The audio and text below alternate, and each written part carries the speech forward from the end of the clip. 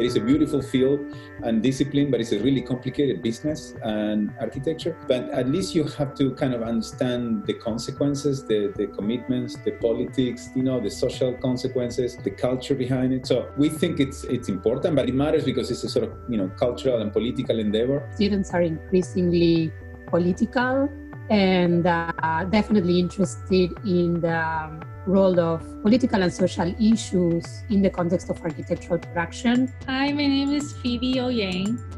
And I'm Abel Makeda.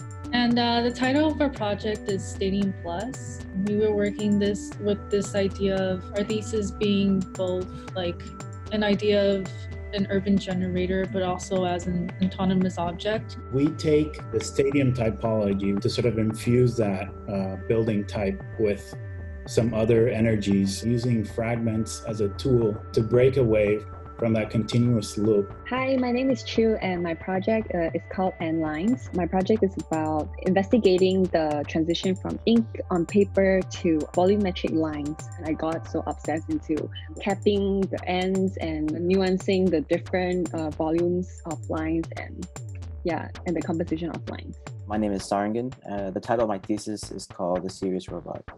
So the Serious Robot uh, internalizes the display of the expressive architectural icon by not necessarily acting as a, an exterior presence within the city, but more of as acting, having an interior world within it. Gesture and posture was a very important thing to me. It deals with this idea of temporality within architecture and how that could be manifested in from the building's envelope to like the specificity of the interior. My name is Nora Fidel. The title of my thesis is It's Not About You, a post-humanist tale. My project began as a science fiction short story, and I found myself really interested in post-humanism and what it means to design for the non-human and how we could flatten this ontology and have human, machine, and landscape all be treated as equal users. Hi, I'm Sally Luen. My thesis was on performative quality of lines uh, these lines are no longer a representation and no longer a 2D element, but they now have spatial qualities. I chose to repurpose the Battersea Power Station, and the program was an Apple campus. The title of the thesis, Hidden Theatrics, uh,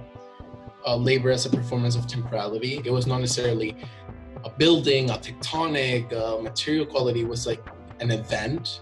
And there was always like this ambition of portraying event and the event of the making of architecture. My name is Dutra Brown. The title of my thesis is A Representation of Waiting, and it was focused around a critical analysis of the medical waiting room in hopes to kind of reclaim the hospital typology as one that belongs to architecture. My name is Shayan Khorasani, and my project is called The Invisible Monument. It's a project about revisioning a new inner reality in our post-industrial monuments, offering uh, a fresh vision and a polemic to the discourse on preservation and also the iconography of, of our post-industrial monuments. I think at the end of the day, we are doing our job. We're doing here, and everybody did here what we were supposed to do, which is to speculate, to think, to imagine what architecture can be, could be, should be. We've broadened it to maybe a wider audience than we've ever had for undergrad thesis. So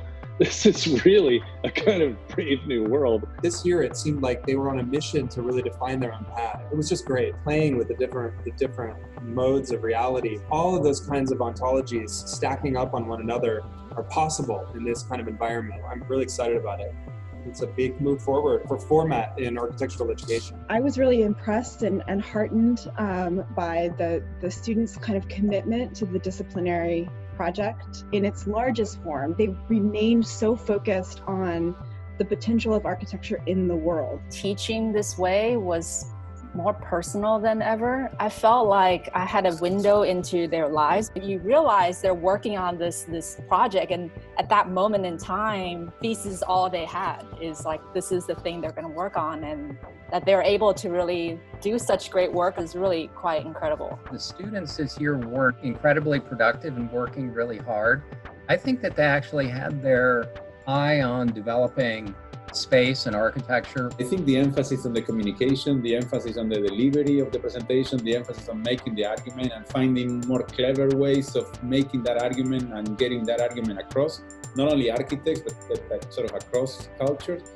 I, I, thought it was really, really kind of amazing. One of the things that's really coming through to me is the level of comfort and command over the tools um, that the students at SCI-Arc have. I think it's also allowing the work to kind of engage in a way that's formal, continuing uh, on that, but also I think more political and conceptual. The way that architects combine their imagination and incredible hard work to bring imagination to the world is needed now more than ever.